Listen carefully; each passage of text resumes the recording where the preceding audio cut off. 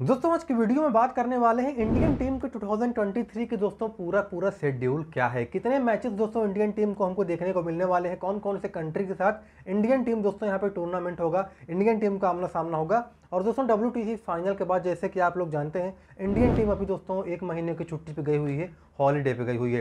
या तो यूँ कहें दोस्तों, एक महीने के लिए इंडियन टीम पूरी तरह से आराम कर रही है। लेकिन दोस्तों इंडियन टीम के आप किसके किसके साथ मैचेस हैं? एशिया कप कब से स्टार्ट दोस्तों? यहाँ पे पूरे पूरे दोस्तों जो दो हज़ार तेईस का जो शेड्यूल है मैच का, उसके बारे में आज के वीडियो में जानकारी देने वाले हैं। बहुत ही इंटरेस्टिंग और धमाकेदार वीडियो होने वाली तो आप लोगों से रिक्वेस्ट है यार वीडियो को लास्ट तक देखना, क्योंकि बहुत ज़्यादा ही इन्फॉर्मेटिव है, बहुत ज़्यादा इंटरेस्टिंग होने वाला है। तो अभी से कर दीजिए चैनल को सब्सक्राइब अभी से बेल नोटिफिकेशन पर ऑल क्लिक कर दीजिए और वीडियो को लाइक करके आइए, आगे बढ़ते हैं। तो दोस्तों, हमने अभी देखा कि डब्ल्यूटीसी का जो फाइनल सीरीज़ था, अभी हाल ही में खत्म हुआ है और इंडियन टीम बहुत ही बुरी तरह से दोस्तों हार गई थी।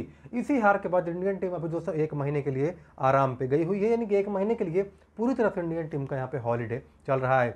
लेकिन जैसे दोस्तों इंडियन टीम एक महीने बाद यहाँ पे हॉलीडे से लौटेगी रिटर्न होगी, तुरंत दोस्तों यहाँ पे वेस्ट इंडीज के लिए रवाना हो जाएगी। जी हाँ यानी कि इंडियन टीम के वापसी आते ही दोस्तों सीधा सीधा आपका वेस्ट इंडीज के मुकाबला देखने को मिलेगा? इंडियन टूर वेस्ट इंडीज का होगा दोस्तों, यानी कि वेस्ट इंडीज के मुकाबले हमको इंडियन की टीम से देखने को मिलने वाले हैं। 12 जुलाई से दोस्तों, ये जो श्रृंखला है, ये स्टार्ट होने वाली है और ये पूरे दोस्तों 13 अगस्त तक चलेगी। यानी कि 12 जुलाई से 13 अगस्त तक ये जो श्रृंखला हमको देखने को मिलेगी, जिसमें दोस्तों दो टेस्ट मैच, तीन ओडीआई और पाँच टी ट्वेंटी मैचेस हमको दोस्तों देखने को मिलेंगे। यानी कि दोस्तों, यहाँ पे हमको डब्ल्यू के बाद तुरंत ही वेस्ट इंडीज के मुकाबले देखने को मिलेंगे, इंडियन टीम के साथ साथ जहाँ दोस्तों जैसे कि मैंने बताया, बेहतरीन तरीके से मैच की परफॉर्मेंस होगी और बहुत ही यूनिक दोस्तों आप लोग मैच का एक्सपीरियंस देख पाएँगे। और जैसे दोस्तों वेस्ट इंडीज से ये दोस्तों टूर्नामेंट खत्म होगा तुरंत ही इंडियन टीम आयरलैंड के लिए रवाना हो जाएगी। जी हाँ क्योंकि आयरलैंड में दोस्तों यहाँ पे तीन टी ट्वेंटी मैचेस हमको देखने को मिलेंगे, जो कि 18 से 23 अगस्त तक चलने को दोस्तों डिसाइड हुआ है। लेकिन यहाँ पे जो इंडियन टीम है, वो दोस्तों अपनी पूरी पूरी ऑफिशियल टीम नहीं भेजेगी। कुछ पर्टिकुलर प्लेयर्स ही जाएँगे दोस्तों। यानी कि एक प्रकार से एक सेपरेट टीम क्रिएट करके आयरलैंड भेजा जाएगा। यानी कि ओरिजिनल और पर्टिकुलर टीम को यहाँ पे नहीं लिया जाएगा। क्योंकि दोस्तों, अगर मेन मेन टीम मेंबर्स को यहाँ पे हम लोग आयरलैंड भेज देंगे तो फिर एशिया कप की तैयारी रुक जाएगी। जैसे अभी डब्ल्यूटीसी फाइनल में हुआ था। इंडियन टीम आईपीएल में बिज़ी थी। अभी टाटा आईपीएल प्रीमियर लीग खत्म हुआ है, जिसकी बदौलत यहाँ दोस्तों डब्ल्यू में करारी हार इंडिया टीम को देखने को मिली है। क्योंकि ऑस्ट्रेलिया के जो क्रिकेटर्स थे ऑस्ट्रेलिया के जो प्लेयर्स थे, उन्होंने काफ़ी अच्छी प्रैक्टिस की थी और इंडियन टीम के पास प्रैक्टिस करने का समय नहीं बचा था।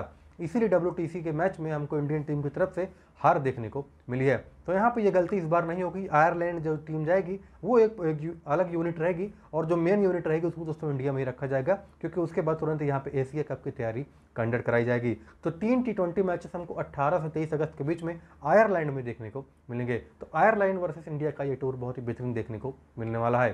और दोस्तों आयरलैंड का मैच खत्म करने के बाद, आयरलैंड से टूर्नामेंट खत्म करने के बाद, तुरंत ही दोस्तों यहाँ पे जो हमारा दोस्तों एशिया कप स्टार्ट हो जाएगा। जी हाँ एशिया कप 2023 दोस्तों थर्टी फ़र्स्ट अगस्त से लेके सेवनटीन सितंबर तक देखने को मिलेगा। यानी कि इकतीस अगस्त से लेके हमको दोस्तों सत्रह सितंबर तक देखने को मिलेगा। और जो दोस्तों एशिया कप का जो वेन्यू डिसाइड हुआ है, वो श्रीलंका और पाकिस्तान डिसाइड हुआ है। साथ ही साथ दोस्तों, ये ओडीआई फॉर्मेट में हमको देखने को मिलेगा, जिसमें बहुत बेहतरीन तरीके से परफॉर्मेंस दोस्तों आपको देखने को मिलेगी।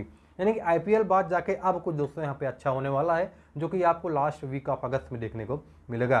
तो परफॉर्मेंस काफ़ी अच्छी होगी इंडियन टीम से काफ़ी अच्छी फाइट्स यहाँ पे देखने को मिलेगी, और काफ़ी अच्छे मुकाबले दोस्तों हमको लोगों को यहाँ पे देखने को मिलने वाले हैं। तो ओवरऑल परफॉर्मेंस काफ़ी अच्छी रहेगी और काफ़ी यूनिक तरीके से यहाँ पे दोस्तों परफॉर्मेंस इनकी तरफ़ से हमको देखने को मिलेगी। फिर दोस्तों, जैसे ही यहाँ पे एशिया कप खत्म होगा, तुरंत ही उसके बाद दोस्तों, ऑस्ट्रेलियाई टीम इंडिया के दौरे पे आएगी। जी हाँ दोस्तों, तुरंत ही जो ऑस्ट्रेलियाई टीम है, इंडिया विज़िट करेगी। और दोस्तों, यहाँ पे फोर्थ वीक ऑफ़ दोस्तों, यहाँ पे सितंबर यानी कि सितंबर के लास्ट में हमको यहाँ पे तीन ODI matches India versus Australia के देखने को मिलेंगे, जो कि दोस्तों इंडियन के ही इंडिया के ही वेन्यू में इंडिया के ही क्रिकेट ग्राउंड में हमको देखने को मिलेगा। तो काफ़ी अच्छी परफॉर्मेंस होगी, काफ़ी अच्छे तरीके से यहाँ पर दोस्तों हमको इंडियन टीम की परफॉर्मेंस देखने को मिलेगी, क्योंकि दोस्तों जो मैचेस शेड्यूल हुए हैं, वो दोस्तों कंटिन्यू वन बाई वन है। यानी कि दोस्तों बोला जाए तो भाई बारह जुलाई से आपको बिल्कुल भी नहीं बैठना है, उसके बाद लगातार कॉन्टिन्यू मैचेस पे मैचेस यहाँ पे दोस्तों देखने को मिलेंगे। तो काफ़ी अच्छी परफॉर्मेंस हम लोग इंडियन टीम से दोस्तों सोच रहे हैं कि इंडियन टीम हमको दोस्तों काफ़ी अच्छी परफॉर्मेंस देगी, जिसके माध्यम दोस्तों काफ़ी अच्छी विनिंग आप लोग भी कर पाएँगे।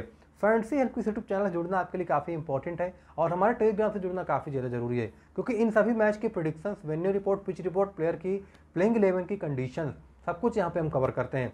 तो आपको इस चैनल को सब्सक्राइब करना बहुत बहुत ज़्यादा इंपॉर्टेंट है और हमारे टेलीग्राम से जुड़ जाइए, जिसका लिंक है वीडियो के डिस्क्रिप्शन में, जहाँ पे आप लोगों को विनिंग रिलेटेड इन्फॉर्मेशन मिलती है और टीम की प्रोडिक्शन देखने को मिलती है। हमारे इंस्टाग्राम पर फॉलो करना ना भूलें, उसका लिंक भी नीचे डिस्क्रिप्शन में दिया हुआ है।